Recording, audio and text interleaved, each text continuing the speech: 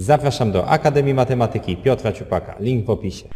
Jeżeli alfa jest kątem ostrym, bo tak wynika z zapisu, oraz tangens alfa równa się 2 sinus alfa, to naszym zadaniem jest znaleźć kosinusa. My musimy wiedzieć, albo z głowy, albo z tablic, że tangens kąta alfa to jest sinus kąta alfa przez kosinus kąta alfa. Wykorzystajmy ten fakt. Czyli tutaj zamiast tangensa wpiszę sinus przez kosinus, czyli mamy sinus alfa przez kosinus alfa równa się 2 sinus alfa. Zobaczmy, że dzieląc stronami przez sinus alfa otrzymamy 1 przez cosinus alfa, bo tutaj się skrócił sinus, to się równa 2. Mnożę stronami przez cosinus alfa, czyli 1 to są 2 cosinusy alfa, dzielę przez 2, czyli 1 druga to jest cosinus alfa, czyli to, czego szukaliśmy, czyli odpowiedź A.